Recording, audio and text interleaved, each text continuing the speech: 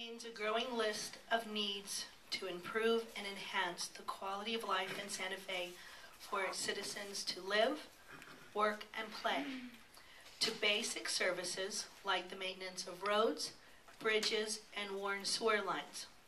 What funding mechanisms would you support to pay for quality of life initiatives versus basic needs?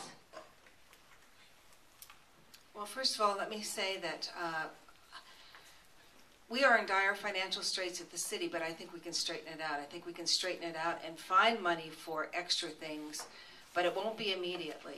What we have to do is go in there and cut the fat, do uh, diagnostic evaluations of the city, the management structure, and do audits, which I started, which were stopped, several of them after I, or a few of them after I left, that I proposed to do for, for cost saving and efficiency reasons. Quality of life is something that we create amongst ourselves with the spirit of community.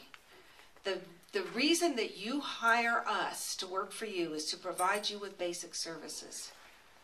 Public safety, getting your trash picked up, sewer, water, streets cleaned in an efficient manner and an inexpensive manner to the manner to the extent that we're able to do that for you. I am opposed to putting any more taxes or levies or or any more burden on the people of Santa Fe until we get our own ho- house in order at the city, and then we'll look at quality of life initiatives.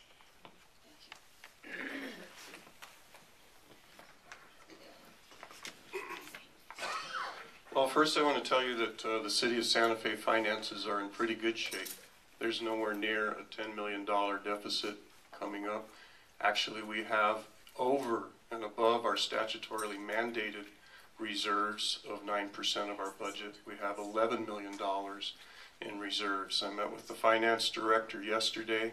Our deficit for this year is about $1.1 million. We believe we've already made that up with vacancy savings by being essentially in a hiring freeze for all of this year. Uh, it doesn't help us to, to say, to cry gloom and doom and out of control because we're not. We've eliminated $15 million in spending in the last budget. We're hitting our budget revenue estimates now.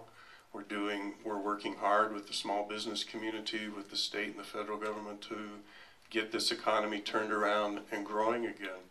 I don't support any new taxes. Our two options are gross receipts tax and property tax. Now's not the time. We need more jobs. We need more people paying taxes, not higher taxes. Thanks. Well, let's see, uh, we're talking uh, quality of life versus basic services, and without the basic services, fire, police, emergency medical, solid waste, water, sewer, there is no quality of life. That has to be first. So I think we need to set our priorities, do a good job there, and then talk about the other sort of luxuries, if you will. Um, we need to stay focused on what we've started. As an example, you know we've gone through annexation. We've talked about annexation for the last 20 years. We have a good plan. Maybe we can scale it back a little bit, but that annexation has has identified growth areas that will accommodate, you know, future growth.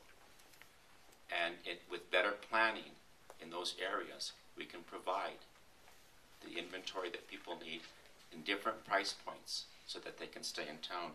The budget, you need to talk to your other councilors because we do have a surplus. And we need to use that now as a rainy day fund to try to move some of these initiatives forward. That's stagnant.